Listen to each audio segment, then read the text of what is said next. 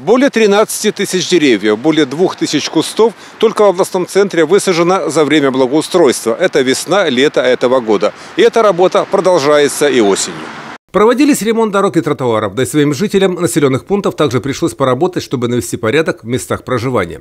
Убирались ну, сухостойные ветровальные деревья, подсаживались деревья. Было высажено 48 деревьев вдоль дорог. Проведена рекультивация внутрихозяйственного карьера на площади 2 гектара. Это вот, ну, ну, скажем, из таких значимых вопросов, которые были проведены в городе Бресте в Брестском районе. В Брестском районе рекультивированы два мини-полигона. По плану все еще ныне существующие должны быть закрыты до 2023 года. В рамках программы «Комфортное жилье. Благоприятная среда» обустраивались контейнерные площадки для раздельного сбора мусора. В городе и районе установлено около 50 разного рода контейнеров. В историческом центре Бреста в основном наземного исполнения, в крупных микрорайонах – заглубленного.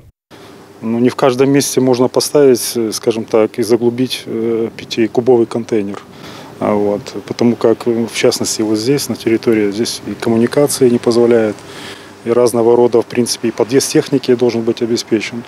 А вот, поэтому вот э, таким способом, преображая старые места в новые, наземными площадками, он тоже дает свои результаты. И эстетика совсем другая. Да и к раздельному сбору мусора жители областного центра стали относиться более внимательно. Благо для этого появились дополнительные возможности.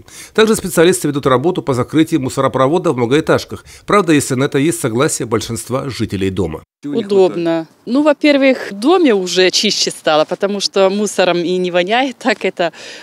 Ну, и так, мне кажется, удобно, чисто. Люди как-то ответственно относятся к этому. Распределяют как-то мусор. Одобряю это. Вот только детских игровых площадок, со слов жителей города, пока маловато, особенно в новых микрорайонах. Решается в Бресте и еще одна проблема – утилизация бытовых отходов, строительного мусора, старой мебели. Сбор крупногабаритных отходов по городу Бресту ведется несколькими способами. Первый способ – это объезд по территории МЖЭСа один раз в неделю. Второй способ – это установка большегрузных контейнеров. Э, таких мест установки в городе порядка 36. Есть места, где контейнеры прибывают на постоянной основе.